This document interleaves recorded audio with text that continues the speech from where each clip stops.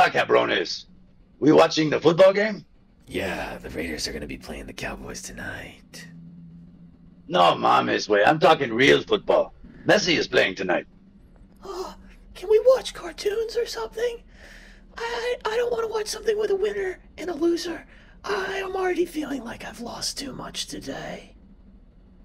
Cállate, way, Smiley. Just because you spend more time inside a locker instead of on the playing field doesn't mean you can't have an appreciation for sports. Oh, those were tough times.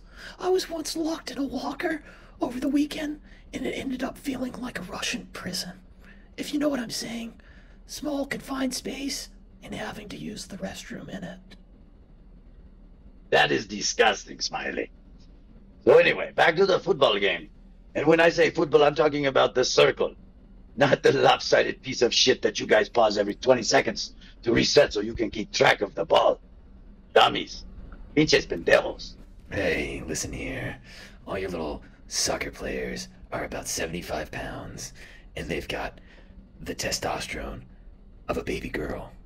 Okay, football is men crushing each other, breaking souls, doing steroids, and doing loads of coke, and then going head to head for hours in all types of conditions. People are getting body slammed, bones are breaking.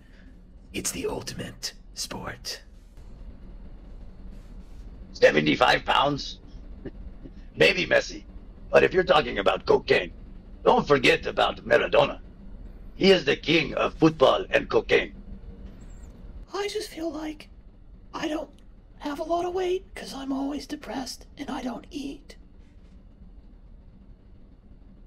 Are you getting tired of this fucking guy, Charlie? I know, I know. We were we actually almost agreed on on football and soccer because I didn't know dude like to do do a little bit of the bumpity bump. I recently watched the series on Amazon about his life. What a maniac. No one in American football can touch this guy. Give me an example of your. someone that would be a hero to both of us. Well, I mean, I'm not gonna say Tom Brady, even though I respect him as being the GOAT and the quarterback of all time. But let's talk about a good friend of mine, Dan Marino. This guy lost for years, and he's still considered one of the baddest dudes in the game. And some say that he's also killed dolphins and eaten them before games, just for good luck. I only saw him in that Ace Ventura Pet Detective movie. I didn't realize he was hardcore. No, You say he's your friend? Could he come hang out with us? Play some football? Smiley can be a mascot or a cheerleader or something. Nah, I don't. I don't think Dan would appreciate uh, Smiley's weird interjections and low attitude about life. Hey, I'm trying to take more pills to make me feel better. All right, shut, Smiley. Shut up. Another, another. Let me just say this, okay? No one can compete with Derrick Henry. All right, that's like three of your little Messies in one man. So what do you have to say against that, T? Derrick Henry plays for Tennessee, no? Yeah, Titans, baby.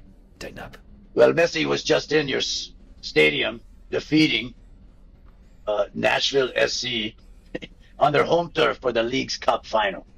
Yeah, yeah, whatever. It was just, it was all about money. Nobody actually went to the game.